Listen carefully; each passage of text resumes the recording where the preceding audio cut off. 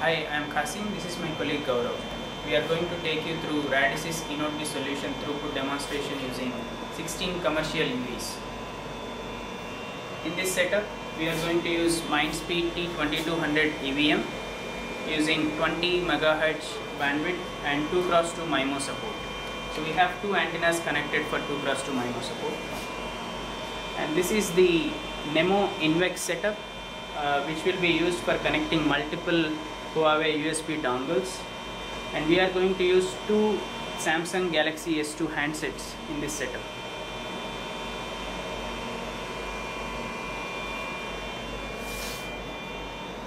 So we have used uh, Polaris EPC consisting of MME, S gateway and P gateway. So which is already up and running. This is MME, S gateway and P gateway we also have uh, eNodeB L1 up and running.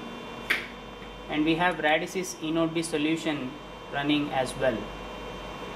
So we can see that we already have 15 users already attached and data is running as well. So we have overall 114 Mbps in the downlink already going through Radisys eNodeB solution so we will do an attach of one handset.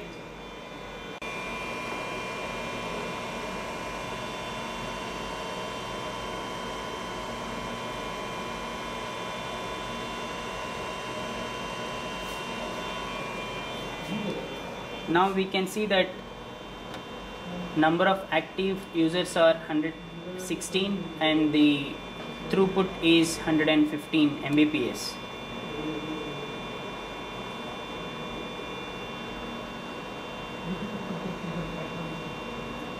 yeah we have started data on 16th UE as well now we can see 16 users and total throughput being 115 Mbps.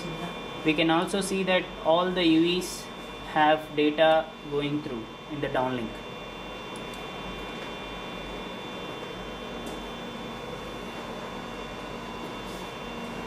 That's all we have. Thanks for watching.